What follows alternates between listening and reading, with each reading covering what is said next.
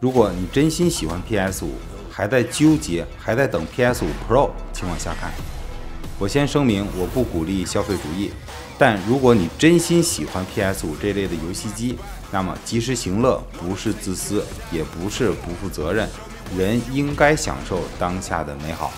三千多块钱的 PS 五谁都买得起，我觉得不是钱的问题，只是有人纠结该不该花这笔钱。毕竟三千块钱对于普通的家庭来说，可以做很多事儿，比如加一箱油五百块钱可以跑一个月，吃顿火锅或者烧烤人均七十可以支撑一天不吃饭。再比如给孩子上个补习班，二百块钱可以支撑一个小时。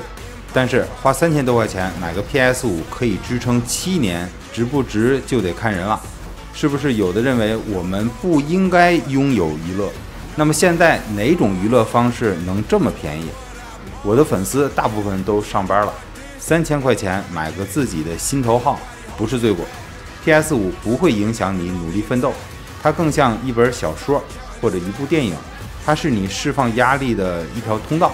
它会给你一块属于你自己独享的 moment。其实我们国内游戏机玩家的数量很少，和手游、电脑游戏相比，那就是个零头。即便如此，还有那么多人纠结到底要不要买，该不该买？你们到底在怕什么？PS 五上市都三年多了，你一直忍着、憋着等 PS 五 Pro，就算 PS 五 Pro 有发布了，你是不是还要等 PS 六？等 PS 六上市了，你是不是还要等六的 Pro？一代游戏机的周期大概七年，你有几个七年？你还能等几个七年？难道你喜欢那种期待的感觉？